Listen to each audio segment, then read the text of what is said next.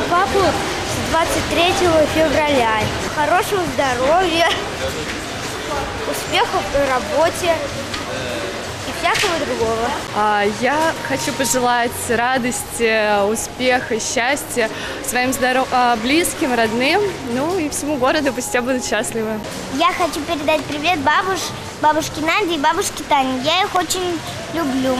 Передаю своим родственникам и всем своим знакомым большой привет. А, Мы приехали к ва- к вам в город в гости на Харитоновские чтения. Хочется отметить очень хорошую организацию а, харитоновских чтений для школьников и э, интересные экскурсии в вашем городе. Мужики, с 23 февраля. Всего вам самого лучшего. Будьте мужиками, они как... Извиняюсь.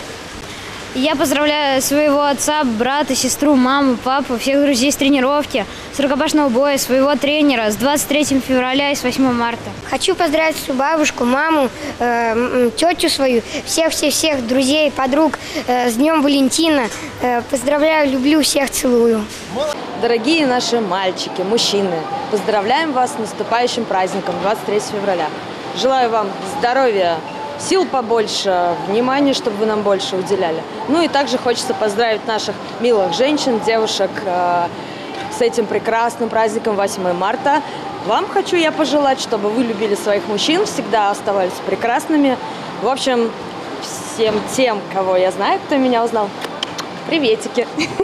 Я, я передаю маме привет, папе, Вове. Я их очень люблю и уважаю, чтобы они были хорошими. Э, в преддвериях э, праздников, посвященных Дню э, защитника значит, Отечества. Хочу значит, поздравить всех наших любимых, дорогих мужчин с этим днем. Хочу пожелать им здоровья. Хочу, чтобы они были мужественнее, чем они сейчас есть, капельку внимательнее к нам, дамам. И хочу, как, наверное, и все нормальные люди, чтобы никогда не э, воспользовались наши мужчины вот этим правом э, защиты страны. Я не хочу, чтобы не было войны. Я хочу, чтобы не было войны. Я хочу, чтобы во всем мире был мир. Я хочу, чтобы все люди были счастливы, чтобы все люди были э, здоровые. Я хочу, чтобы мужчины только радовали нас, женщин, именно какими-то какими своими шикарными для нас поступками.